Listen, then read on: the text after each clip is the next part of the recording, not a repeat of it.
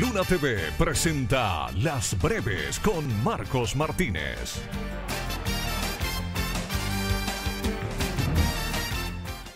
Hola, ¿qué tal?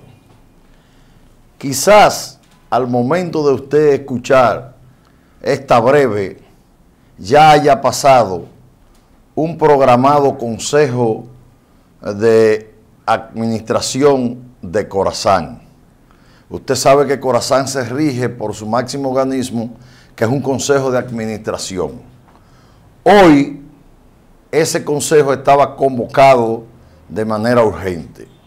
Reitero, es posible que al usted estar escuchando esta breve, ya ese consejo haya pasado.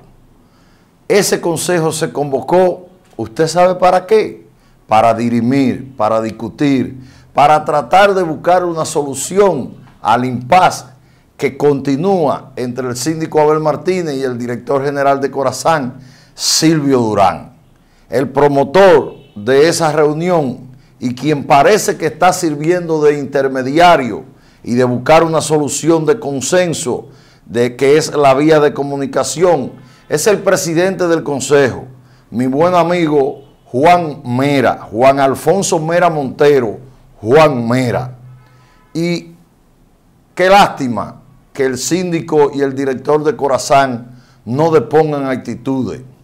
Qué lástima que Abel Martínez no ceda en algunas cosas. Qué lástima que Silvio Durán no floje algunas de sus posiciones. Qué lástima que dos funcionarios que son del Partido de la Liberación Dominicana no busquen un acomodo en un conflicto que lo han llevado a lo personal.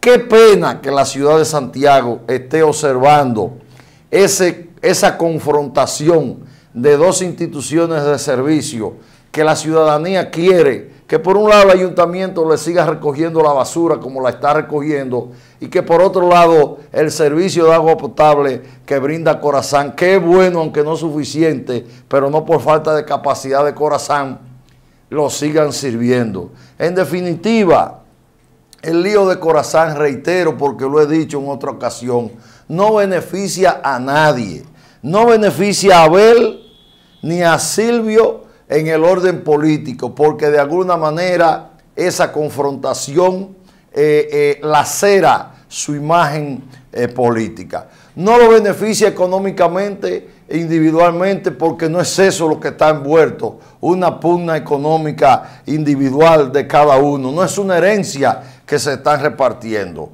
Y en consecuencia, lo que sí pueden lograr ellos es que sus instituciones se vean de alguna manera afectadas en la buena opinión eh, de la población de Santiago. Lo que sí yo estoy seguro, que con el pleito de Abel y Silvio Durán, que yo espero que en la sesión de hoy, que ya debe haber transcurrido del Consejo de Administración, se haya resuelto y que si el Consejo no celebró hoy jueves eh, su sesión, lo haga mañana viernes o a más tardar el lunes, para que definitivamente esa situación eh, se le ponga punto final.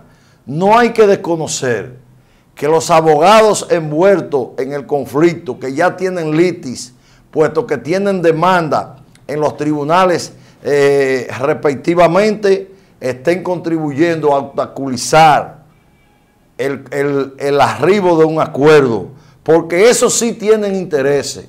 Mientras más se prolonga el conflicto, más crecen los honorarios respectivamente de los abogados y puede ser un factor para que Silvio Durán por un lado y Abel Martínez por otro no se hayan puesto de acuerdo. Lo que sí yo estoy claro y lo confirmo es que quien representa en el Consejo a Abel Martínez no ha hecho el mejor trabajo. El sureño no ha sido una pieza para solucionar el problema el periodista Ramírez no ha sido una buena polea de transmisión de solución. Todo lo, todo lo contrario, lo ha agudizado. Y finalmente, de lo que yo estoy convencido, que en el pleito del Ayuntamiento de Santiago de Corazán, del pleito de Abel Martínez y Silvio Durán, solo perdemos los santiagueros.